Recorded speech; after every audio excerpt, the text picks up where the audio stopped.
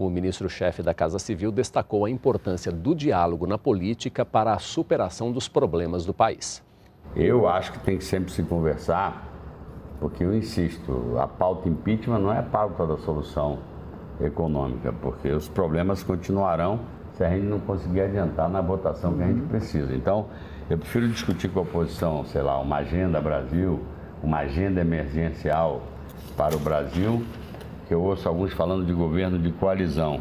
Antes de falar de coalizão, tem que saber qual é a agenda mínima que há de concordância, porque você não junta sem saber para quê.